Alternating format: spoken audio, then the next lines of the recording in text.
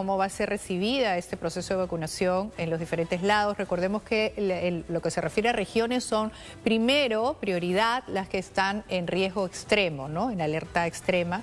Y eh, tenemos también el dato del primer médico a vacunarse. Este es en el hospital Loaiza y ya se vacunó Joseph Vallejos, ex jefe de la UCI, precisamente. Acordémonos que es UCI, ¿no? También las enfermeras que están en triaje, que son que reciben al público primero.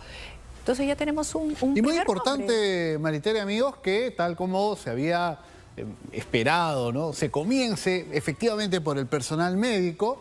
Si bien es cierto, se había anunciado la vacunación del presidente Sagasti, que la vamos a ver seguramente en las próximas horas, y que también es importante porque hay muchos peruanos que todavía no quieren saber de la vacuna o tienen dudas de la vacuna, y ahí va dirigido un mensaje. Sí es importante que llegue desde el jefe de la UCI hasta, entre comillas, la última enfermera o auxiliar, porque ellos son los que continuamente están trabajando ahí, arriesgando la vida y casi no descansan. Entonces tienen que ser los primeros vacunados tal como se ha anunciado y ya comenzó. Es una tranquilidad no solamente para ellos, una tranquilidad para el servicio que ofrecen. Es una zona realmente preocupante. Ahí reciben a toda la gente enferma y también, por supuesto, para sus familias y para toda la población. Tanto lo merecen, tantas tensiones en casa cuando tienes un familiar, un hermano, un padre que es médico y vamos a estar pendientes de toda la información